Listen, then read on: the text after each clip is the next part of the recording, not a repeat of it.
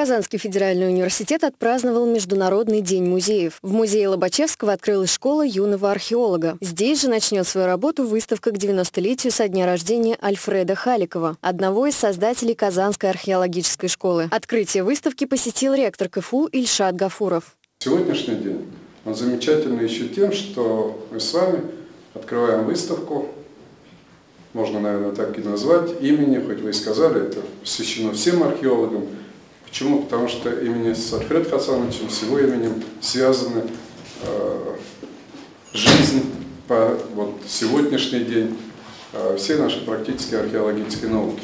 Экспозиция была представлена как в виде фотографий, рассказывающих о жизни ученого, так и в виде экспонатов, обретенных во время археологических экспедиций. В подготовке выставки приняли участие десятки специалистов и сразу несколько музеев Татарстана. То, что выставка открывается именно здесь, в университете, наверное, тоже знаково, потому что он являлся и выпускником нашего университета, и почти всю жизнь преподавал в нашем университете.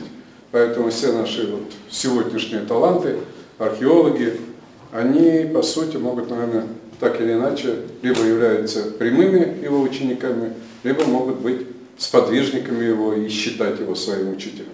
С 1968 года до конца жизни Альфред Халиков преподавал в Казанском университете. Под его руководством сформировалось несколько поколений археологов. Мы с вами и беляры совершенно другие сегодня имеем, и булгары другие, и сиярс другой, да, и вообще тренд а, вот памятников истории, три из которых по праву сегодня пополнили список ЮНЕСКО – они стали масштабироваться в нашей республике, и это стало местом притяжения. И это стало уже экономической составляющей, то есть объекты истории из чисто затратной части э, пошли в доходную часть экономики нашей республики. Ученый являлся одним из инициаторов создания археологической карты Республики Татарстан. Ему принадлежит инициатива создания музеев-заповедников в Беляре и его округе, Казанском Кремле и Елабуге. Я впервые с именем Федора Хасановича встретился, когда работал в Елабуге, и мы каким-то образом искали, искали доказательную базу э, под празднование или под юбилей тысячелетия.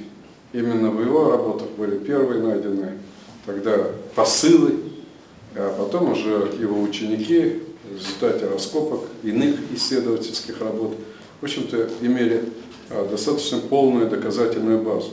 Материалы экспедиции, хранящиеся в разных музейных собраниях и архивах, впервые представлены на новой выставке в Казанском университете, которая проработает до 30 июня 2019 года. Валерия Муратова, Александр Юдин, Univer News.